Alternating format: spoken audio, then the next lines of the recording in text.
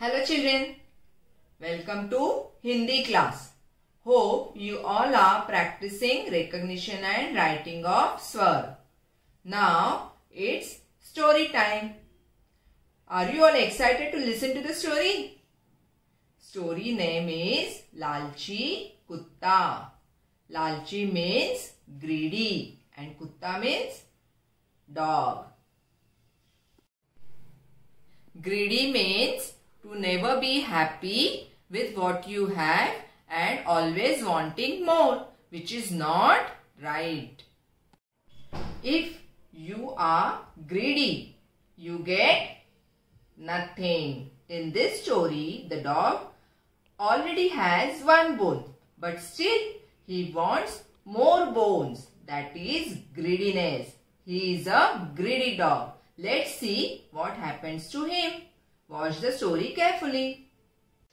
कहानी का नाम है लालची कुत्ता। एक कुत्ता था। वह बहुत लालची था।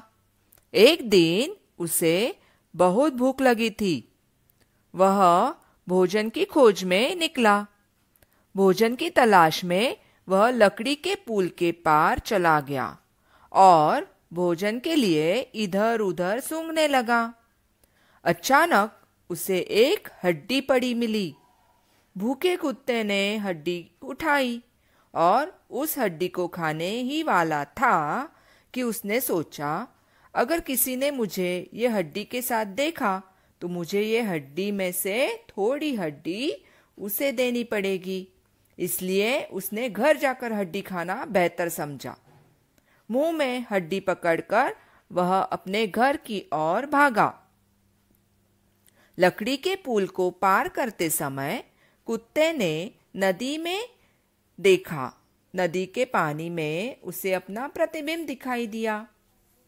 मूर्ख कुत्ते ने उसे दूसरा कुत्ता समझ लिया। उसे लगा, पानी में एक और कुत्ता है और उसके मुँह में भी हड्डी है। कुत्ता लालची तो था ही।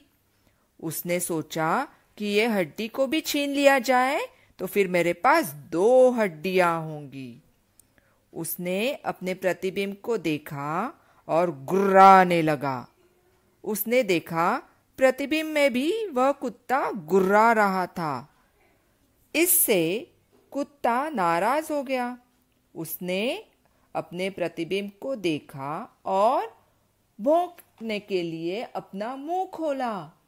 मुँह खोलते ही उसके मुँह से हड्डी नदी के पानी में गिर गई।